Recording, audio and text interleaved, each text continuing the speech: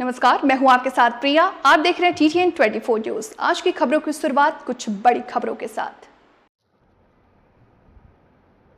एक तरफ़ उत्तर प्रदेश के मुख्यमंत्री बेजुबान जानवरों के लिए खान पान की उत्तम व्यवस्था कर रहे हैं। करोड़ों रुपए से बनी गौशालाओं का ये हाल देखिए कि सड़कों एवं कागज़ पन्नी खाने में मजबूर हैं। बेजुबान जानवर महोबा की नगर पालिका से सागर कानपुर हाईवे, चरखारी बाईपास, कुल पहाड़ रोड नगर पालिका महोबा की बनी नरक पालिका हाईवे में बैठे बेजुबान जानवर गौशाला के नाम पर गवर्नमेंट को लगा रहे चूना। बेजुबान जानवर कागज़ पन्नी खा करके कर रहे जीवन यापन।